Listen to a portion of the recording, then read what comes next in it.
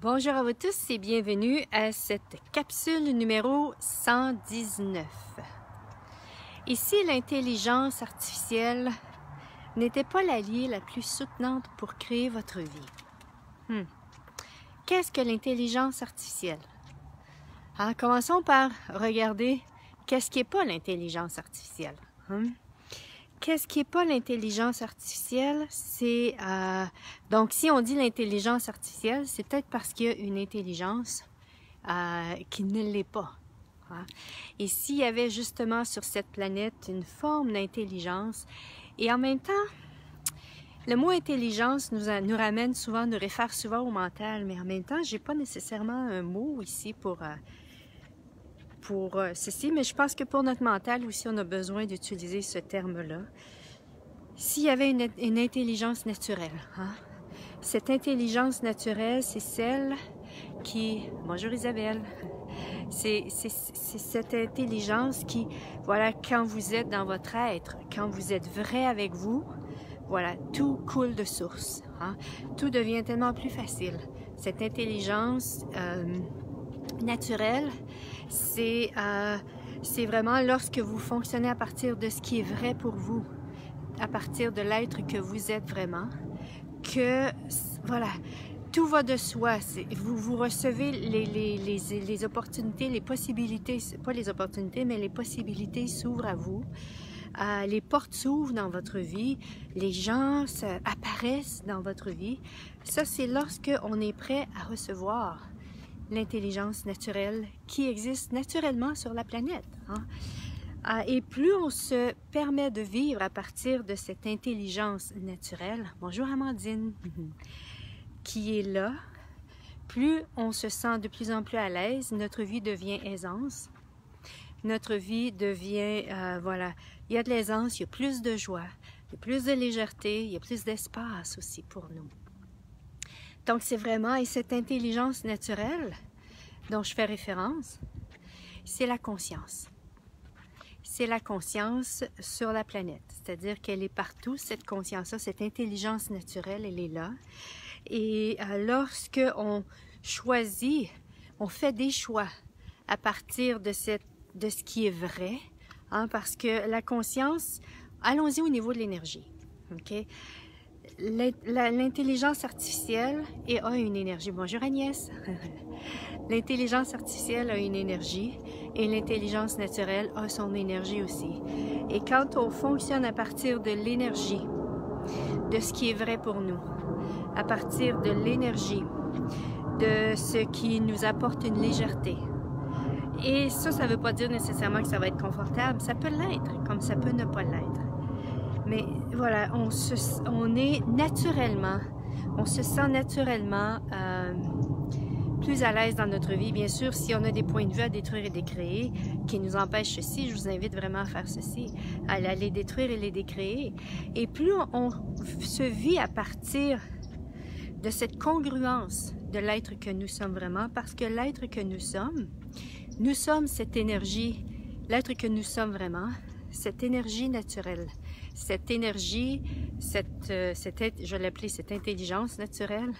Voilà, lorsqu'on se vit à partir de, ces, de cette dynamique-là énergétique, de l'être que nous sommes vraiment, de ce qui est vrai pour nous, bonjour Corinne, de ce qui est vrai pour nous, de ce qui, euh, de ce qui nous parle, de ce qui nous fait vibrer, ah, nous sommes un être. L'être que nous sommes, nous sommes une énergie, un espace, une conscience. Nous sommes l'énergie. Et quand on choisit l'énergie qui est vraie pour nous, ben, on se sent de mieux en mieux, naturellement, avec soi-même. Et cette énergie-là, ben, c'est la conscience de qui nous sommes vraiment. Alors, qu'est-ce que c'est l'intelligence artificielle? C'est tout ce qui n'est pas intelligent, c'est tout ce qui n'est pas euh, conscience. C'est-à-dire que c'est de l'énergie quand même. C'est de l'énergie, mais qui est altérée. C'est-à-dire que l'énergie sur la planète qui est vraie, qui est présente et qui est disponible 24-7, cette énergie naturelle qu'est la conscience, cette énergie-là, elle est altérée. Elle est altérée de quelle façon? À travers les pensées, les sentiments, les émotions. Parce que les pensées, c'est une énergie. Hein? Faites juste, si je vous dis, juste euh, pensez à quelqu'un qui est en train de se faire battre. Hein? je fais juste vous parler de ceci. Et si vous restez avec cette énergie-là, vous allez, il y a quelque chose en vous qui va se, qui va s'éveiller. Donc c'est de l'énergie.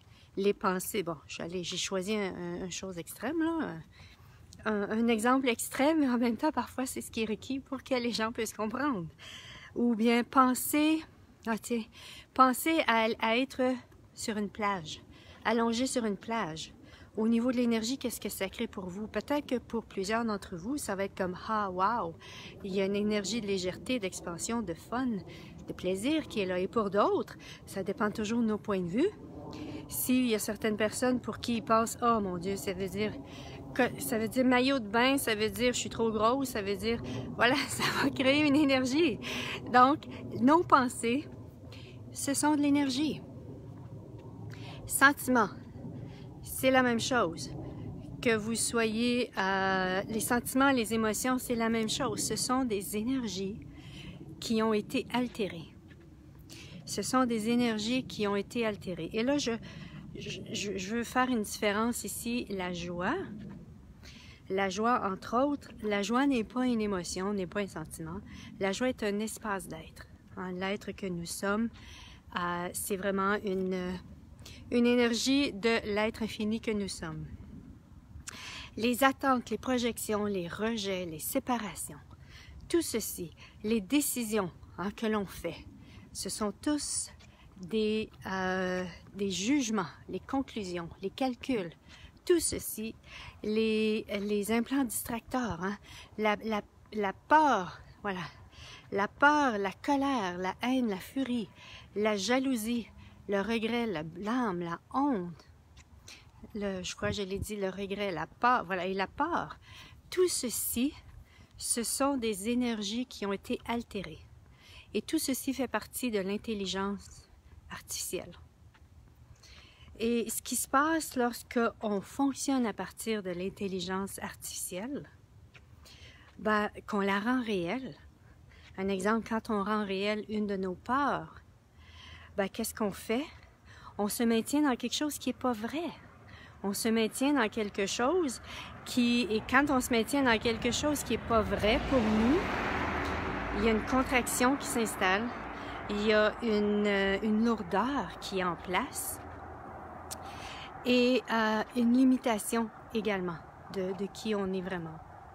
Donc c'est vraiment ici, euh, et, et souvent les gens pour créer leur vie, vont, euh, au lieu de choisir de détruire et décréer ces énergies-là qui font partie de l'intelligence artificielle, vont les rendre réelles et vont croire que leur vie, et vont se retrouver à un moment donné dans une vie qui est ennuyante, dans une vie où est-ce qu'ils n'ont pas nécessairement le plaisir, que c'est la même chose encore et encore qui se fait. Euh, ils vivent leur vie puis ont l'impression que leur vie n'a pas de sens. Pourquoi? Parce qu'ils ont cru à ces énergies de l'intelligence artificielle. Ah, ils ont cru à soit l'intelligence artificielle, il y a aussi la logique. Hein? Partout, cette, cette logique où est-ce que on est... Euh, ben oui, c'est la logique, c'est ce que j'ai à faire. Ou le bon sens, voyons. Ça n'aurait pas de bon sens si je faisais ceci. Combien de fois vous avez eu dans votre vie euh, vous avez reçu des prises de conscience de ce qui était possible pour vous. Et vous avez regardé votre vie. Ah, merci Gwenny. Coucou, merci encore pour tes créations, tes partages. Et vous avez regardé votre vie et, euh, et vous, la vie que vous aviez à ce moment-là. Et là, vous êtes allé soit dans le jugement, dans la conclusion, vous avez fait le pont comme, voyons, c'est impossible, ou vous, avez, vous êtes retourné dans votre mental pour essayer de voir le point de référence par rapport à ceci, ça n'existait pas. Et parce que ça n'existait pas dans votre mental, vous avez choisi que, vous avez cru que c'était impossible, et de un, et de deux, euh, vous avez conclu que c'était pas ce qui était, c'était pas la, chose à faire. Alors que ici, justement, ces prises de conscience-là, les prises de conscience vont toujours nous amener à être à se vivre de façon plus grande, à, à, sortir de notre zone de confort, à sortir de notre boîte, à sortir de ce qui nous maintient petits, de ce qui nous maintient limités et de ce qui nous maintient à, voilà, de, créer, une vie qui, pour certains, de merde, pour d'autres, ce serait une vie qui, ne correspond pas du tout à qui ils sont. Mais plus on, et plus on se vit à partir des obligations. Et quand je parle d'obligations, voilà, il faut faire attention. Il y a des obligations. Quand je dis faut faire attention, c'est ici, il y a des obligations qu'on se met qui ne créeront pas le futur qu'on désire, qui ne créeront pas l'aisance qu'on désire. Mais en même temps, il y a des obligations qui vont justement être celles qui sont requises pour créer ce qu'on désire dans notre vie. Un exemple, se lever et euh, ou bien faire bouger notre corps. Hein. Pour certains, ça peut être une obligation, mais en même temps, si c'était, au lieu d'en faire une obligation, d'en faire un choix? Je choisis ceci parce que, voilà, et avec ceci, est-ce que ce serait plus léger pour vous si ces obligations-là feraient en sorte que au lieu de, de, rester dans cette dynamique-là, d'être soumis à ceci, d'en faire un choix? Pourquoi? Parce que ça apporte une aisance dans ma vie, parce que ça m'amène vers ce que je désire. Oui, c'est peut-être pas ce que je préfère le plus dans ma vie, mais en même temps, c'est ce que je désire. Euh, c'est une contribution à créer la vie que je désire. C'est une contribution à faire en sorte pour que ma vie soit... Euh, pour créer le futur que je désire. Ou bien ça peut être L'exemple que j'ai déjà donné, le, parent qui prépare les repas du midi pour leurs enfants, c'est peut-être pas nécessairement ce qui est le plus plaisant dans leur vie, mais ça crée probablement l'aisance qu'ils désirent dans leur vie que s'ils ne créaient pas, s'ils ne prenaient pas le temps de préparer ces, ces repas-là pour leurs enfants à l'école, pour l'école entre autres. Donc voilà. Donc la différence, c'est que voilà, les obligations, souvent les gens ont cru, oh, ou bien de faire les bons choix. Hein, pour faire un bon choix, euh, pour faire, voilà, poser la bonne action, faire, être une bonne personne.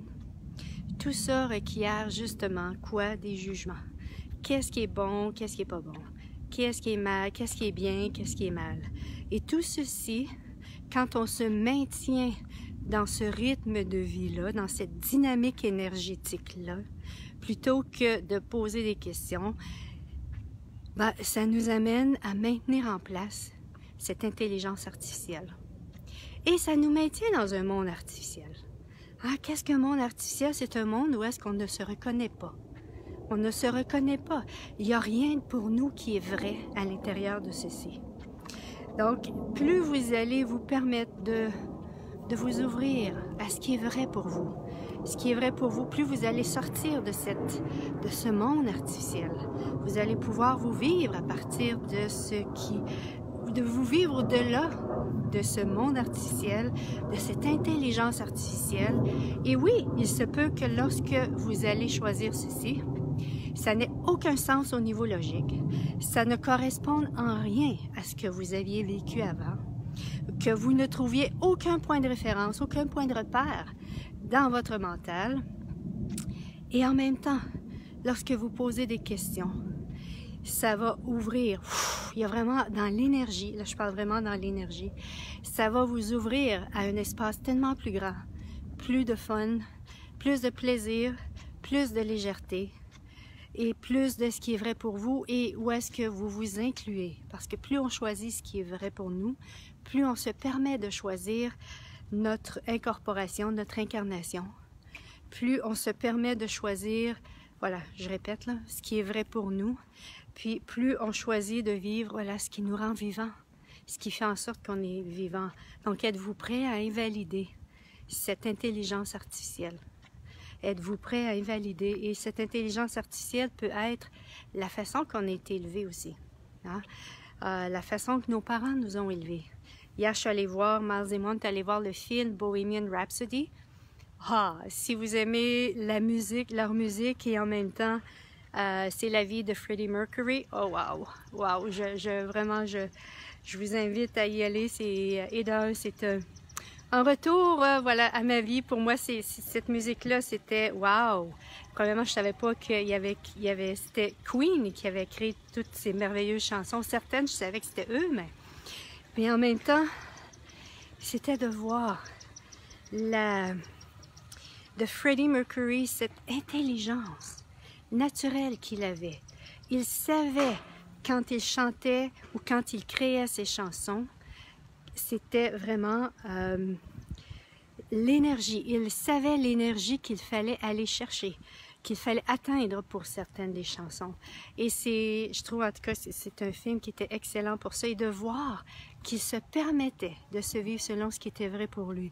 Cette, cette excentricité qu'il était dans ses vêtements, dans sa façon d'être, c'était comme wow, wow. Et c'est très bien dit, c'est très bien exprimé dans le film aussi. Merci Edith, tout cela m'inspire et ouvre pour moi. Wow, merci, merci Francine de partager ceci. Donc voilà, c'est ça, c'est ce que je vous invite. et comment utiliser cet outil-là? C'est de poser la question, OK, est-ce que je suis en train de fonctionner par rapport, si je choisis ceci, est-ce que je fonctionne à partir de l'intelligence artificielle? Ah, est-ce que je fonctionne à partir, et si ça ouvre, c'est que vous fonctionnez à partir de l'intelligence artificielle, et si ça ferme, c'est que non, vous ne fonctionnez pas à partir de cette intelligence artificielle. Voilà, se vivre à partir de cette intelligence naturelle, ça va être se vivre à partir de ce qui n'existe pas, souvent dans cette réalité ou qui n'existe pas dans votre réalité à vous. Ça va être de s'ouvrir à des possibilités différentes, mais en même temps, à partir de ce qui va générer et créer tellement plus pour vous tous. Donc, si vous continuez de fonctionner dans votre vie à partir de l'intelligence artificielle et de la maintenir comme étant votre guide, ben, vous pouvez être assuré de toujours, vous allez toujours vivre la même chose, avec une certaine variation de thème, peut-être. Puis si c'est ce que vous désirez, c'est merveilleux. Hein. Il n'y a pas de bon, il n'y a pas de bien, il n'y a pas de mal, il n'y a pas de mauvais. Il y a vraiment juste à partir qu'est-ce que vous êtes prêt à vivre dans votre vie? Qu'êtes-vous prêt à vivre et à, partir de quelle énergie? Quelle énergie allez-vous choisir pour vous vivre, pour vivre votre vie et euh, et pour moi, c'était ce matin une des questions que je me posais. Qu'est-ce que je veux le soir quand je vais me coucher? Dans mon futur, quel futur j'aimerais créer? C'est, que oui, je veux avoir et je veux faire certaines choses. Mais ce qui, et en même temps, ce qui me parle pour moi, c'est je vais être capable de me coucher le soir et de pouvoir dire, waouh, j'ai touché cette personne-là aujourd'hui j'ai avec l'être que je suis, les mots, ou peu importe qui je suis, ce que je fais, les mots que j'utilise, ah, je veux avoir cette impression que, voilà, j'ai touché la vie de quelqu'un, que j'ai, et ça, c'est très nourrissant pour moi. C'est très nourrissant pour moi. Et pour vous, qu'est-ce que ce serait dans votre vie qui ferait en sorte que le soir, lorsque vous vous couchez, vous auriez ce sentiment de satisfaction, et ça va être différent pour chaque personne. Et c'est vraiment de voir pour vous qu'est-ce qui est vrai pour vous. Qu'est-ce qui est vrai, qu'est-ce qui ferait en sorte que pour vous, euh, votre vie mériterait d'être vécue. Hein? Puis sur votre lit de mort, vous pourriez dire, Waouh, j'ai vécu la vie que je désirais. Et ça, il n'y a personne d'autre que nous qui pouvons choisir ceci. Et c'est merveilleux, c'est qu'on peut faire tout ceci avec l'univers. On peut vraiment créer ceci avec l'univers, on n'a pas à faire ça nous-mêmes, et surtout pas à partir de notre mental, pas à partir de cette intelligence artificielle, mais plutôt en posant des questions à l'univers, tu sais, qu'est-ce qu'il faudrait pour que je puisse vivre ceci? Et là, je vous invite, et tout ce qui ne me permet pas ceci, je le détruis, je le décris. Right and wrong, good bad, pot, call, nine shorts, pause and beyond. Et euh, demandez encore et encore ce que vous désirez et vous allez recevoir ces énergies, vous allez recevoir la direction, la guidance à travers vos intuitions, à travers les gens, à travers la musique, à travers des films, des événements de votre vie qui va vous emmener à créer la vie que vous désirez.